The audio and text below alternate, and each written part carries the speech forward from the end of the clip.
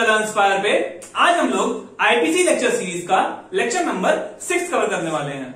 मेरे भाई, अगर चैप्टर नंबर फ़र्स्ट यानी कि section number one two five नहीं पढ़ा है तो जल्दी से आईपीसी की प्लेलिस्ट पे जाओ और वो सब देख कर आओ, ठीक है?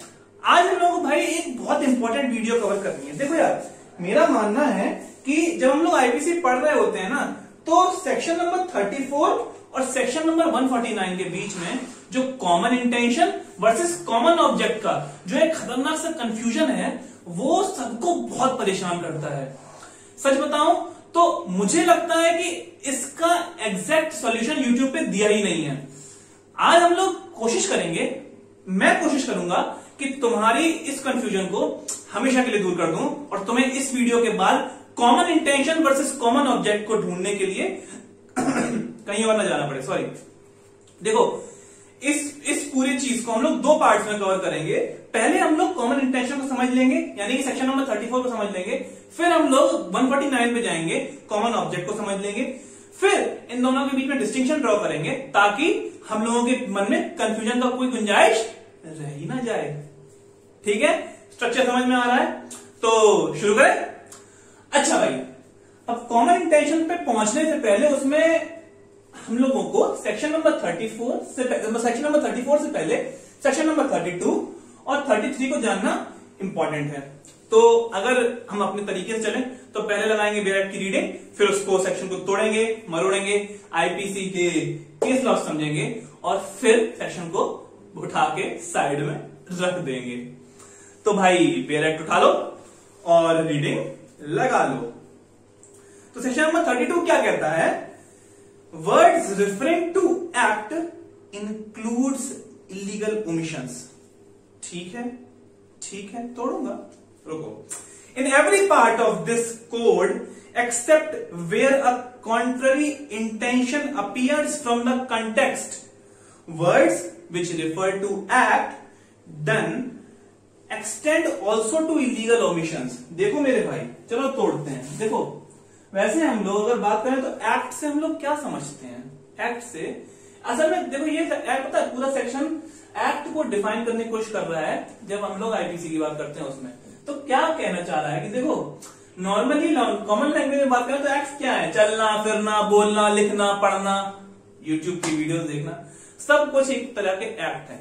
लेकिन जब हम लोग क्राइम की बात करते हैं तो इलीगल एक्ट और इलीगल ओमिशन यानी कि जो चीज़ें करनी चाहिए और वो आप नहीं कर रहे हो उसको भी हम लोग इसकी संज्ञा में इस, इसके पूरे जब डालते हैं ठीक है इसके अंदर। तो यार वही बताया जा रहा है इस, इस, इसके अंदर कि इसका स्कोप वाइड किया गया है। एक्ट शब्द का स्कोप वाइड किया गया है और इसके अंदर इलीगल ओमिशन को डाला गया है। समझ रहे हो? अच्छा तुम समझना और, और डिटेल बताता हूँ और डिटेल बताता हूँ। मान लो मान लो तुम्हारी ड्यूटी है तुम्हारी ड्यूटी है कोई डॉक्यूमेंट्स को प्रोड्यूस करना टू प्रोड्यूस डॉक्यूमेंट्स और तुम वो नहीं फुलफिल करते हो तो तुम सेक्शन नंबर 125 के अंदर लाइबल होगी। समझ रहे हो? ये सब आ, ये नहीं है कि तुमने कांड किया। तुमने कुछ नहीं किया जो कि तुम्हें करना था उसके लिए तुम्हें सजा मिल रही है। बात समझ में आ रही है? सिमिलरली सिमिलरली अगर कोई कोई कोई लॉ या कोई किसी कारण से, किसी किसी भी ऑब्लिगेशन के थ्रू तुम्हें, अगर ये तुम्हारे ऊपर भार है कि तुम एक पब्लिक सर्वेंट की मदद करो, और तुम नहीं करते हो तो तुम सेक्शन नंबर 187 के अंदर लाइबल हो यहाँ पे भी तुम्हारा कुछ करना नहीं, बल्कि तुम्हारा कुछ ना करना तुम्हें लाइबल कर रहा है। बात समझ में आ रही है? इलीगल ओमिशन कैसे मतलब हमको लाइबल करते हैं समझ में आ रहा है? ठीक है? तो इसका एक बड़ा प्यारा सा केस लॉ। हाँ वैसे तो प्यारा नहीं बहुत ग्रूसम इसमें चीज़ करी गई है लेकिन ए, इसको हम डिस्कस करने की कोशिश करते हैं ठीक है? Om Prakash versus state of Punjab 1782 भाई मेरे देखो क्या किया गया? ये चीज़ अंग्रेज़ी में यहाँ लिखी हुई है कहाँ पे लिखी हुई है अपने आईपीसी में ठीक है? लेकिन मैं तुम्हें अपने तरीके से समझाता हूँ कि भाई दो मैं तुम्हें अपने तरीके से बताता हूँ दो लोग कौन? हस्बैंड और वाइफ अब इनके बीच में संबंध थे खट्टे ठीक? तो हस्बैंड ने क्या किया? बंदी को चार दीवारी के अंदर कर दिया कन्फाइन और बड़े सिस्टमैटिक तरीके से। पाँच पाँच छह छह दिन के गैप में इसको बहुत लिमिटेड खाना देने लगा, ठीक है? बहुत लिमिटेड खाना। इतना कि सिर्फ़ ये सरवाइव कर सके। ना बाहर जाने दे रहा है, ना किसी से बात करने दे रहा है, कुछ नहीं। बस उतना खाना दे रहा है इसकी हालत बड़ी खराब हो चुकी थी, ठीक है? अब कुछ दिन बाद जब ये बहुत खराब हालत में है, उस टाइम जाने कैसे इसको घर से भागने का रास्ता मिल गया, ठीक है? ये भाग के पहुँची हॉस्पिटल हॉस्पिटल में जिस डॉक्टर ने इसका, इसको देखा, उसकी पूरी कहानी सुनी, उसके बाद तुरंत ही इसने रिपोर्ट किया। और यहाँ पे पता है क्या हुआ? तुम पूछ रहे हो कि ये सब क्यों बता रहे हो? मैं बताता हूँ, देखो, यहाँ पे अटेम्प्ट टू मर्डर डिक्लेयर हुआ। क्यों? Not because of a particular act but because of a particular omission ठीक है? यहाँ पे हस्बैंड की ड्यूटी थी कि अपनी बीवी का ध्यान रखे, उसको खाना पीना टाइम पे दे, लेकिन उसने वो नहीं किया। इसकी वजह से उसको लाइबल किया गया। आ रहा है? आ रहा है? आ रहा है। ठीक है। For starving her wife attempt to murder omission of duty ठीक है। प्रोड्यूशन ये हो गया हो गया हो गया हो गया। अपन अब आते हैं कहा? सेक्शन नंबर थर्टी थ्री पे। तो सेक्शन नंबर थर्टी थ्री की बात करें तो बहुत कुछ नहीं, बहुत सिंपल सेक्शन है मतलब कुछ नहीं बात कर रहा है। एक बार रीड करते हैं, ठीक है? एक्ट और ओमिशन को डिफाइन कर रहा है। क्या? The word act also denotes a series of act and the word omission denotes a series of omission कुछ नहीं। मैंने तुम्हें लगाए कितने? दस तमाचे। तो मेरा हर तमाचा अलग अलग एक्ट की तरह काउंट नहीं होगा। दसों तमाचे लगाने का पूरा जो कांड है ना, उसको हम लोग एक एक्ट कहेंगे। ठीक? बस। इस सेक्शन में इतना ही दिया हुआ है। अब चूँकि तुम लोगों ने ये तो समझ लिए हैं तो चलो सेक्शन नंबर थर्टी फोर की बात करते हैं, जो कि आज का हमारा मेन टॉपिक है। ठीक है? चलो। हाँ तो अगर सेक्शन नंबर थर्टी फोर की बात करें तो बेसिकली इस चैप्टर इस वाले सेक्शन में हम लोगों को कॉमन इंटेंशन को डीप में समझना है, ठीक है? तो जैसे कि अपना तरीका है, सबसे पहले हम लोग सेक्शन को रीड कर लेते हैं, ठीक है? ठीक है भाई। चलो, निकाल लो section number thirty four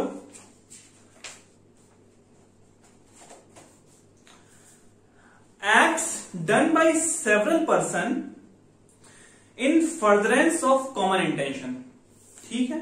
सुन लिया? आगे पढ़ते हैं। When a criminal act is done by several person in furtherance of a common intention of all each of such person is liable for that act in the same manner as it were done by him alone अंग्रेज़ी side करते हैं। बात को तोड़ने की कोशिश करते हैं। ठीक है? देखो यार, इसके अंदर मेन भाषा पे जाएँ तो तीन मेन इंग्रेडिएंट हैं। क्या? पहला है act by several person act में तो एक्ट क्या होता है? किसी को कोई दिक्कत नहीं होनी चाहिए अब, ठीक है? इन फर्दरेंस ऑफ़ उसी के संदर्भ में उस, उसी में आगे बढ़ते हुए मतलब कोई एक्ट करते हुए ठीक है? इन फर्दरेंस ऑफ़ क्या? कॉमन इंटेंशन आज का खिलाड़ी ठीक है? Common intention acts done by several person in furtherance of common intention यानी कि अगर कुछ लोग मिलके किसी एक कांड को करने का डिसाइड करते हैं ठीक? अब उसको करते दौरान अगर जो जो कॉन्सिक्वेंसेस रिज़ल्ट होंगे, भले उसको हर पर्टिकुलर पर्सन ने ना किया हो, लेकिन लाइबिलिटी सबके ऊपर आएगी। देखो, समझाता हूँ समझाता हूँ, धीमे धीमे धीमे धीमे धीमे धीमे। अच्छा हम लोगों ने इंग्रेडिएंट समझ लिया मतलब मेन भाषा को तोड़ लिया, ठीक है? अब यहाँ पे अगर बात आई है कॉमन इंटेंशन की तो भाई सबसे पहले मैं चाहूँगा सेक्शन को और डीप में समझने से पहले हम लोग कॉमन इंटेंशन को डीप में समझ लेते हैं, ठीक है? चलो कॉमन इंटेंशन पे आ जाओ। समझो क्या है? देखो it simply means prior concert यानी कि प्रायर मीटिंग ऑफ़ माइंड किसी भी कांड को करने से पहले सबका एक तरह से कंसेंट होना कि हाँ भाई ये करना है। ये चीज़ कॉमन इंटेंशन में आती है ठीक है? अब जब भाई सब लोग सोचते हैं ऐसा कुछ करने का तो पार्टिसिपेशन की बात आती है। देखो एक पार्टिसिपेशन होता है एक मेंबरशिप होता है। हम लोगों को इन दो पार्ट्स दो, अपनी जो दो वीडियोस हैं उसमें सेक्शन 149 और सेक्शन 34 कवर करना है ना? तो मेंबरशिप की बात आएगी 149 उसको लोग बात करेंगे। देखो यार, सारे जो डिस्टिंक्शन है ना, देखो एक और चीज़ आएगी ज्वाइंट लाइबिलिटी आएगी कंस्ट्रक्टिव लाइबिलिटी आएगी पार्टनरशिप वर्सेस मेंबरशिप आएगा। ये सब मैं तुमको बताऊँगा। नेक्स्ट पार्ट के वीडियो को इसीलिए छोड़ना ज़रूरी है पूरे कॉन्सेप्ट को समझने के लिए, ठीक है? अच्छा ठीक है भाई। कॉमन इंटेंशन के अंदर प्रायर कंसेंट होनी चाहिए होनी चाहिए। सबका पार्टिसिपेशन होना चाहिए होना चाहिए। चलो अब मैं तुम्हें कुछ ऐसे पॉइंट्स के बारे में बताता हूँ, जो हम लोगों को याद रखने हैं जब हम लोग बात करें कॉमन इंटेंशन की, ठीक है? देखो, पहले की बात करें तो पहले क्या मानते थे कि अगर फ़िज़िकल प्रेजेंस होगा, तभी बंदा लाइबल होगा सेक्शन 34 के हिसाब से, ठीक है? लेकिन ये चीज़ अब तुम बताओ अपने मन से, आज की तारीख में कोई मतलब रखता है? मतलब कि आजकल तो हम लोग अपने साथी को बिना फ़िज़िकल प्रेजेंस के भी असिस्ट कर सकते हैं। ठीक है ना? तो ये चीज़ उस समय थी, अब नहीं है। ठीक है? आगे बढ़ते हैं। ओनली प्रेजेंस विद और without weapon will not make liable देखो, कांड हो रहा है ना, उसके सामने होना, ये केवल आपकी कॉमन इंटेंशन को डिफाइन नहीं करता है। क्या? देखो, एक सहरनिशा का केस है। तुम लोग पढ़ोगे, अपनी बुक देखोगे तो उसमें ना सुपरस्टिशंस का बड़ा गजब खेल था, उसमें ऐसा मतलब बताया गया कि दो बालकों की मृत्यु करवा दी ईश्वर के नाम पे। मतलब पीर पैगम पैगंबरों का कुछ केस था। और भाई मतलब वो लोग सच में मानते थे कि इससे उनको कुछ फ़ायदा होने वाला है। फ़ायदा इन ऐसा नहीं कि मतलब वो चाहते थे कि मृत्यु लेकिन ये चाहते थे कह रहे बरसेगा इस टाइप कुछ सीन था, तुम लोग डिटेल पढ़ोगे। तो मतलब वहाँ पे जो लोग प्रेजेंट थे, जो एक्यूज थे, वो लोग डायरेक्टली नहीं मीट किए थे कॉमन इंटेंशन नहीं था उनका कि वो लोग मरवाएँ करके। समझ रहे हो? फिर मतलब और लेकिन वो प्रेजेंट प्रेजेंट थे वहाँ पे। तो वही बात कही गई है कि only presence without meeting of mind without common intention will not create liability एक और बात विद वेपन्स तुम कहोगे, यार, देखो, जहाँ पे कांड हुआ, उसके आसपास ये चार लोग थे, ये जो है हथियारों के साथ पकड़े गए. तो केवल मात्र ये बात without any evidence with also not create liability under section 34 एक केस था, उसके अंदर लाठी लिए दो तीन लोग आसपास घूम रहे थे। और एक्यूज थे वो लोग। मतलब डिसाइड ऐसी बात चली कि इनके इन, इन्होंने ही कांड किया है। लेकिन in during the court proceeding ये प्रूव नहीं हो सका। तो उनका मेयर वेपन कैरी करना उनकी लाइबिलिटी को नहीं कर पाया सिद्ध। ठीक है? ठीक है। अच्छा the point of mere instigation देखो किसी को कांड करने के लिए बढ़ावा देना ये कॉमन इंटेंशन नहीं है। ठीक है? तुम मार रहे हो किसी को? मारो, एक बार मारो, एक बार मारो, एक बार मारो। और मेरे कहने पे तुम मारने लगे और ये कॉमन इंटेंशन नहीं है। प्री अरेंज प्लान होना चाहिए। इस वर्ड को याद रखना। प्री अरेंज प्लान होना चाहिए। इसको हम डिस्कस करेंगे। केस आएगा अभी, महबूब शाह वर्सेस ठीक है? एम्पर का। ठीक है? तो मेयर इंस्टिगेशन जो है ना, वो कॉमन इंटेंशन को नहीं डिफाइन करती है। ठीक? ठीक भाई। अच्छा। कॉमन इंटेंशन में डेवलप ऑन स्पॉट समझो मेरे भाई। प्री अरेंज प्लान बोल रहा था। इसका मतलब ये नहीं है कि मान लो कांड करने की साइट पे जाने से पहले घर पे एक मीटिंग बा, बा, बाकायदा जो है लगा के टेबल कुर्सी लगा के मीटिंग होना ज़रूरी है कि हाँ चलो अब ये करेंगे। ना। देखो ऑन स्पॉट जो कांड जहाँ कांड हो रहा है उस जगह पे भी अगर सब लोग एग्री कर जाते हैं कि हाँ चलो ये और कर जाते हैं, या फिर कोई नहीं रोकता उनमें से तो वो चीज़ भी कॉमन इंटेंशन के अंडर आ जाती है, और उसके बाद भी जो क्राइम्स कमिट होंगे, वो सब उसमें लोग सेक्शन 34 के अंदर लाइबल होंगे। ठीक है? ठीक है। अब भाई आ गया कहानी सुनने का टाइम क्या आ गया?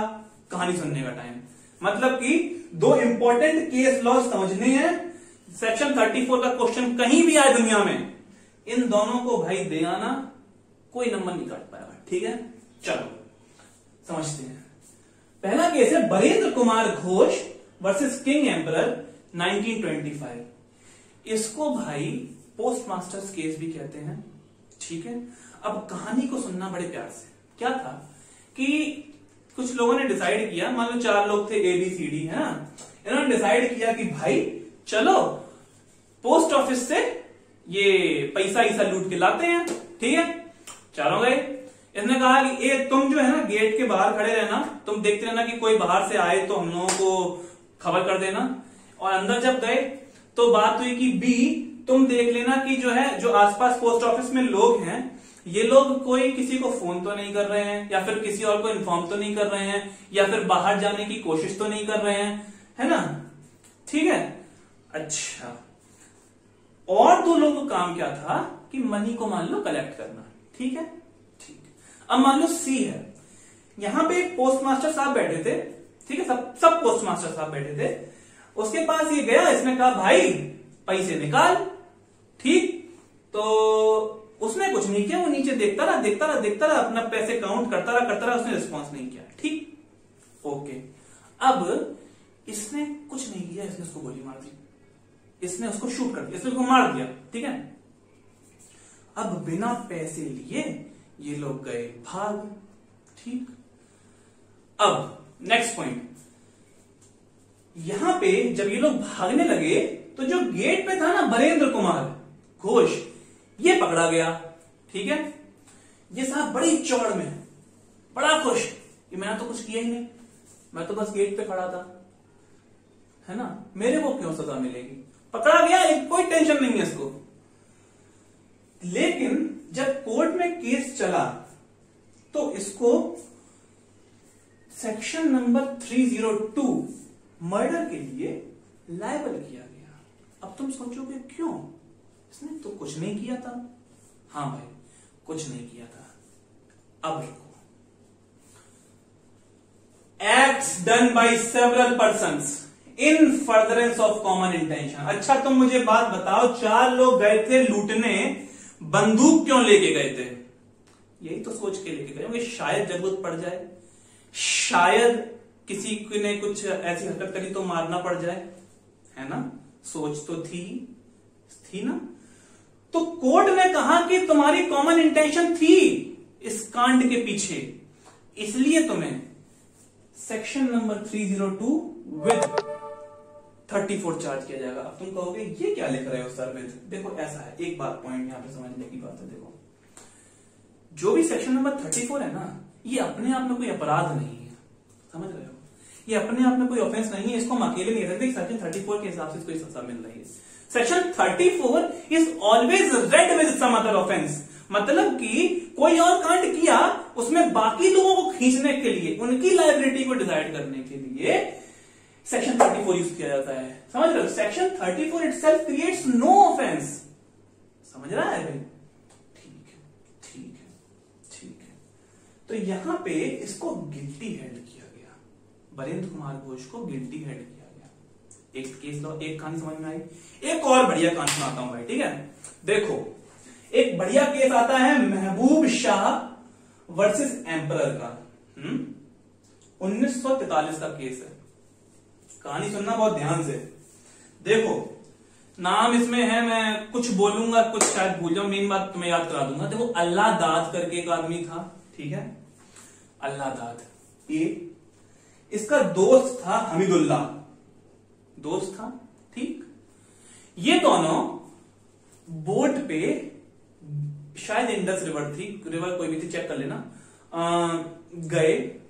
क्या कर कलेक्ट करने? ये कलेक्ट करने गए रीड्स रीड्स क्या होता है? रीड्स होती है एक स्पेशल तरह की, मेरे भाई, घास होती है, जो शायद नदी किनारे वगैरह होती है।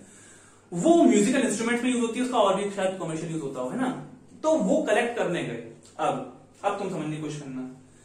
देखो, जहाँ ये गए कलेक्ट करने, वो लैंड था महबूब शाह मोहम्मद शाह का। याद करते हैं ना नाम भी? अल्लाह दाद और उसका दोस्त हमीदुल्ला गए कहा? मोहम्मद शाह के लैंड पे। ठीक है?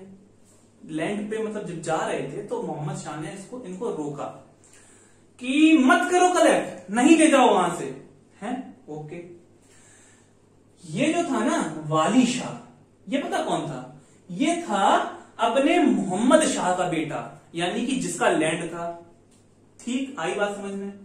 ये जो था महबूब शाह ये कौन था? ये था वाली शाह का दोस्त। याद करो। अल्लाह अल्लाहदार हमीदुल्लाह कलेक्ट करने आए। मोहम्मद शाह का क्या? लैंड वाली शाह, उसका बेटा, महबूब शाह, उसका दोस्त। अब एक बंदा और है, कासिम शाह। कासिम शाह। ठीक है? ये कौन है? कासिम शाह, पता है? कासिम शाह है मोहम्मद शाह का नेफ्यू जिसका लैंड था, उसका नेफ्यू तो जब ये गए अल्लाह दाद और हमीदुल्ला कलेक्ट करने, मोहम्मद शाह ने चिल्ला के रोका, जैसे भी रोका नहीं रुके। तो कासिम शाह चौड़ में आया कि कैसे ले जाओगे? इसने जो है ना, लड़ना शुरू कर दिया उन लोगों से। ठीक है, धक्का कर दिया, अल्लाह दाद वगैरह को। तो इन लोगों ने क्या किया? बोट होती है भाई, बोट। बोट में चक्कू होता है। बहुत लंबा होता है, ठीक है? उससे इसको कासिम शाह को धक्का देना और शायद मतलब इसको मारना हिट करना शुरू कर दिया, ठीक है? इसने चिल्लाया हेल्प के लिए, ठीक? अब सीन पे सीन समझ में आ रहा है? आ रहा है। उस सीन पे कौन आ गया? वाली शाह और महबूब शाह अपियर हो गए सडनली विद गन्स ठीक है? इन्होंने कहा, छोड़ दो वगैरह। तो ठीक है, छोड़ने लगे। अब जब है अल्लाह दाद और हमीदुल्लाह भागे वो बंदूक देख के तो इन्होंने कर दिया शूट। ठीक? शूट किया तो अल्लाह दाद की मृत्यु हो गई वाली शाह की गोली से। कोई बात नहीं, ठीक? हमीदुल्लाह को छोटी सी चोट आई महबूब शाह की गोली से। ठीक? अब सुनो, ये हो गए फैक्ट्स हमीदुल्लाह ने केस फ़ाइल किया और कहा कि महबूब शाह को भी, ये तो ठीक है चार्ज हो ही गया मर्डर के लिए, कोई बात ही नहीं। महबूब शाह को भी अंडर सेक्शन 34 मर्डर के लिए चार्ज करो। तो पहले तो अटेम्प्ट टू मर्डर फिर हाईकोर्ट में गया तो मर्डर के लिए चार्ज कर दिया गया अपील जब दी। लेकिन जब केस प्रीवी काउंसिल में गया तो प्रीवी काउंसिल ने बड़ा कन्विंस किया। उन्होंने कहा, देखो यार जब ये वहाँ अपियर हुए साइट पे तो इन्हें अचानक से इन्हें इन, इनका कोई पहले से प्लान तो नहीं था कि ये लोग इसको मारेंगे करके इन दोनों को है ना? इनका मर्डर करेंगे करके। इन दोनों ने पहले से कोई सोचा तो नहीं था? नहीं सोचा था ना? तो फिर मेरे भाई जब कोई प्री अरेंज प्लान नहीं था तो कॉमन इंटेंशन कहाँ से आई? नहीं आई। So that's why it was declared कि ये सेक्शन 302 के अंदर चार्ज नहीं किया जाएगा। फील आ रहा है? आ रहा है ना? चलो कॉमन इंटेंशन को हम लोगों ने तोड़ के, मोड़ के, मरोड़ के सब कुछ समझ लिया। चलो, अब हम लोग पता है सेक्शन 34 के ऑब्जेक्ट को समझते हैं कि इसको क्यों लाया गया। जब भाई देखो, हम लोग बात करते हैं ना कि कोई ऐसा कोई कांड है, कई सारे लोगों ने जब मिलकर किया तो हर किसी ने क्या एग्जैक्टली exactly कमिट किया कि डिसाइड करना बड़ा मुश्किल होता है? जैसे कि मैंने कहा कि चल भाई, मैं तिवारी जी, शुक्ला जी और ले लिया अग्रवाल साहब को। हमने कहा कि चलो, दुबई जी को मार के आते हैं। ठीक? ठीक? जब हम लोग मारने गए तो अग्रवाल साहब ने तो एक पीछे से पंच मार पाया और मान लीजिए शुक्ला जी ने आगे से मार दिया चक्कू। और तिवारी जी कुछ कर ही नहीं पाए उतनी देर तब तक ये लोग मार पा रहे थे। और शुक्ला जी के चक्कू से ही उसकी हो गई डेथ। समझ में आ रहा है सीन? अब कोई कहे तिवारी जी बोले बैठ के कि साहब, हमने तो कुछ किया ही नहीं। लेकिन भाई, आप भी तो मारने गए थे, है ना? तो इस वजह से ऐसे बहुत सारे क्रिमिनल्स होते जो एस्केप कर जाते ठीक है? इस वजह से सेक्शन 34 की अहमियत हुई। ठीक है? अब और मैं बताता हूँ। इसी में देखो, भले ही लोगों ने खुद कांड ना किया हो, लेकिन उनका मेयर पार्टिसिपेशन और मेयर प्रेजेंस कांड करने वाले को कॉन्फिडेंस प्रोवाइड करेगा प्रोटेक्शन प्रोवाइड करेगा सपोर्ट प्रोवाइड करेगा। ठीक है? तो उसको भी लाइबल किया जाएगा। गॉट इट अच्छा। प्रिंसिपल क्या है? What is the principle of this section 34 section 34 incorporates the principle of joint liability joint liability दो चीज़ें होती हैं ज्वाइंट और कंस्ट्रक्टिव कंस्ट्रक्टिव हम लोग पढ़ेंगे सेक्शन नंबर 134 में। ज्वाइंट होता है कि जब कोई कांड तीन चार लोग मिलकर करें तो सभी लोग उस चीज़ के लिए उतना ही लायबल होते हैं। ठीक है? तो पूरी हम लोगों ने इतनी देर से राम कथा जो समझी, उसमें हम लोग यही डिस्कस कर रहे हैं तो हम लोगों को इस पॉइंट फ़िलहाल समझने में दिक्कत नहीं होनी चाहिए, ठीक है? ज्वाइंट लाइबिलिटी एक केस लॉ है। एक केस लॉ है ज्वाइंट लाइबिलिटी को समझाते हुए कि रैग वर्सेस क्रूज का केस है भाई मेरे। रैग वर्सेस क्रूज 1838 का केस है, इसके फैक्ट समझ लो छोटी सी और कहानी सुन लो, ठीक है? एक कांस्टेबल साहब थे पुलिस कांस्टेबल साहब, ये पहुँचे ए के घर पे अरेस्ट करने, ठीक? वहाँ से उसके घर से बाहर निकल के आए बी सी और डी ठीक? अब इन्होंने मारकूट के जैसे भी हिट किया कांस्टेबल को और इनको भगा दिया। ठीक? अब भले ही किसी एक ने हिट किया हो, किसी एक ने कांड किया हो बीसीडी में से, लेकिन वो तीनों लाइबल होंगे। ये एक छोटा सा केस था, छोटे से फैक्ट थे। जो कि रैग वर्सेस क्रूज के थे और जो कि ज्वाइंट लाइबिलिटी के कॉन्सेप्ट को समझाते हैं। ठीक है? तो ठीक है भाई। हम लोगों ने ऑब्जेक्ट समझ लिया, हम लोगों ने केस की इंग्रेडिएंट समझ लिया तोड़ मरोड़ लिया, हम लोगों ने प्रिंसिपल समझ लिया। कॉमन इंटेंशन के भाई जो केसेस हैं, वो सेक्शन 34 के केसेस हैं। आप लोग उसको डाल सकते हैं। और और और और मेन बात याद कर लेना प्री अरेंज प्लान होना चाहिए। ये सब चीज़ें थी may develop on the spot हो सकता है फ़िज़िकल प्रेजेंस वाली बात थी, है ना? तो ये सब चीज़ें हम लोगों ने डिस्कस करी। तो आज हम लोगों ने सेक्शन नंबर 32 देखा सेक्शन 33 देखा, और उनका डिटेल में यूज़ करते हुए हम लोगों ने सेक्शन 34 की पूरी कहानी समझ ली। तो अगले वीडियो में हम लोग सेक्शन 149 को देखेंगे, और इन दोनों को रिलेट करेंगे, इनके डिफरेंसेस देखेंगे और जो मेजर डिफरेंसेस जनरेट होते हैं, जैसे कि ज्वाइंट लाइबिलिटी वगैरह के और कंस्ट्रक्टिव लाइबिलिटी इन सब चीज़ों के, वो सारी हम नेक्स्ट वीडियो में कवर करेंगे। तो भाई मेरे, अगर वीडियो पसंद आई हो ना तो घंटा इस बार पक्का दबा के जाना। इतनी इंफॉर्मेटिव वीडियो तुमको और कहीं नहीं मिलने वाली, ठीक है? तो सब्सक्राइब करो और हाँ मज़े करो।